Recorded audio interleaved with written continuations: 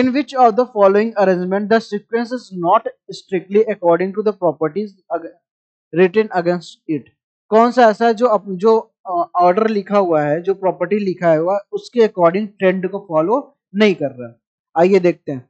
CO, CO2 SiO2 SnO2 PbO2 is increasing oxidising power ये किस order में लिखे हुए हैं? अपने ऑक्सीडाइजिंग पावर के अकॉर्डिंग लिखे हुए हैं। अब पहले समझते हैं ऑक्सीडाइजिंग पावर होता क्या है। ऑक्सीडाइजिंग पावर का मतलब ही होता है कि जो दूसरों को ऑक्सीडाइज कर सके। जो दूसरों को क्या कर सके? ऑक्सीडाइज कर सके और अपना क्या करा ले? रिडक्शन अपना मतलब इट्स सेल्फ रिडक्शन खुद का उसे क्या कराना होगा? रिडक्शन कराना होगा। ऐसी ऑर्डर की बात की गई है। ठीक है? अब इसमें क्या बोला कौन सा strictly according to the property return नहीं है। कौन सा ऐसा नहीं है? तो हम देखते हैं। अब, ये क्या चाहता है? ये चाहता है कि प्लस फोर से कन्वर्ट हो जाए प्लस टू में due to the inert pair effect सही बात है। डाउन द ग्रुप जाने पे नॉन मेटल में कौन कौन से ग्रुप होते हैं हमारे? थर्टीन फोर्टीन और फिफ्टीन इन तीनों ग्रुप में हमारा क्या लगता है? इनर्ट पेयर इफ़ेक्ट क्या लगता है? इनर्ट पेयर इफ़ेक्ट लगता है, जिसके वजह से हमारा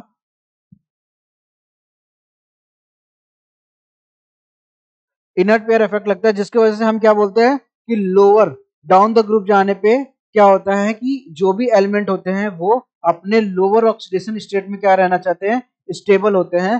तो इस हिसाब से पीबीओ पीबीओ टू हमारा पीबीओ टू में स्टेबल ना होके पीबीओ मतलब प्लस टू ऑक्सीडेशन स्टेट में क्या रहेगा? स्टेबल रहेगा। It means PbO two convert होना चाहेगा किसमें? पीबीओ में। ठीक है?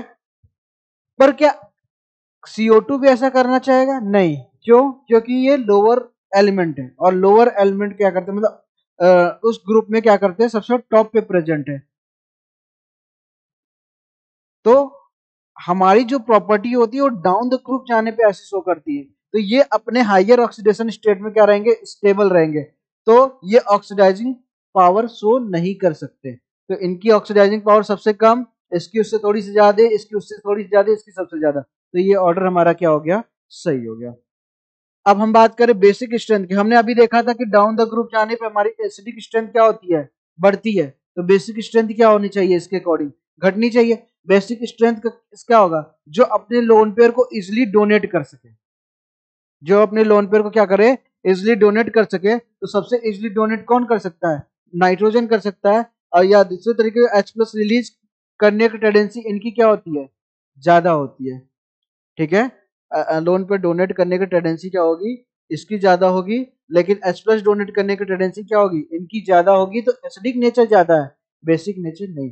और दूसरे टर्म में अगर हम बात करें तो आपने पढ़ रखा है एन का लोन पेयर अपने हाइब्रिड ऑर्बिटल में होते हैं, जबकि ये बाकी क्या होते हैं? ड्रैगोस कंपाउंड होते हैं तो इनके लोन पेयर क्या होते हैं? प्योर ऑर्बिटल में होते हैं तो वो डोनेट करने की टेंडेंसी नहीं रख सकते, इसलिए सबसे ज़्यादा बेसिक ऑर्डर किसका होता है? एन का होता है। तो हमारा आंसर क्या हो जाएगा? डी हो जाएगा। डाउन द ग्रुप जाने पे H प्लस डोनेट करने की टेंडेंसी बढ़ेगी एच की स्ट्रेंथ बढ़ेगी। आयनाइजेशन एनर्जी की बात करें तो सबसे ज़्यादा nitrogen due to the half field फिर ऑक्सीजन फिर कार्बन फिर बोरा तो जो स्ट्रिक्टली फॉरवर्ड नहीं कर रहे हैं, वो कौन सा है? बी ठीक है?